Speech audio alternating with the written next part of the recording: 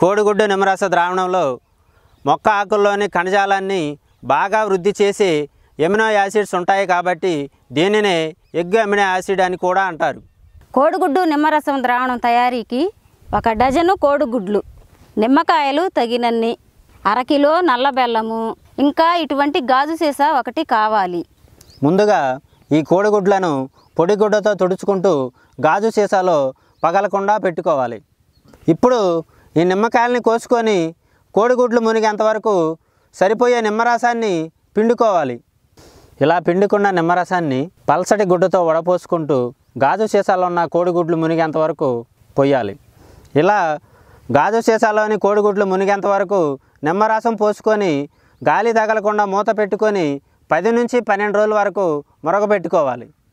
ప్రతిరోజు ఉదయం సాయంత్రం దీనిలో నుంచి గాలి బయటికి వెళ్ళేందుకు ఒక ఐదు నిమిషాలు మూత తీసి మరలా పెట్టుకోవాలి.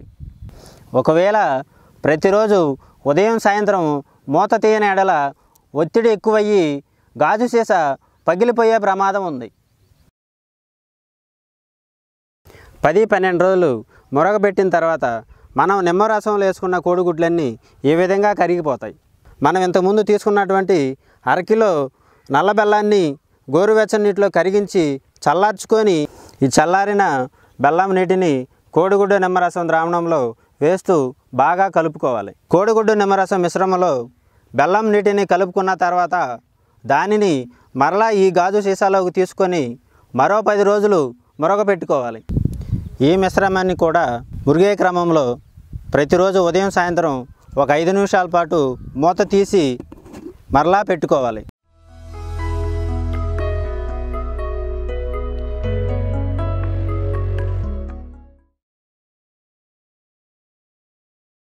మిరప పంట పూత దశలో ఉన్నప్పుడు రెండు వందల యాభై మిల్లీ లీటర్లు అంటే పావు లీటరు కోడిగుడ్డు నిమ్మరస ద్రావణం వంద లీటర్ల నీటిలో కలుపుకొని మిరప పంటపై పిచికారీ చేసుకోవాలి.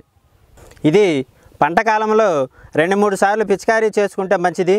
ఇది రెండు నెలలు నిల్వ ఉంటుంది. కోడిగుడ్డు నిమ్మరసం ద్రావణంలో ఎమినో యాసిడ్స్ ఉంటాయి.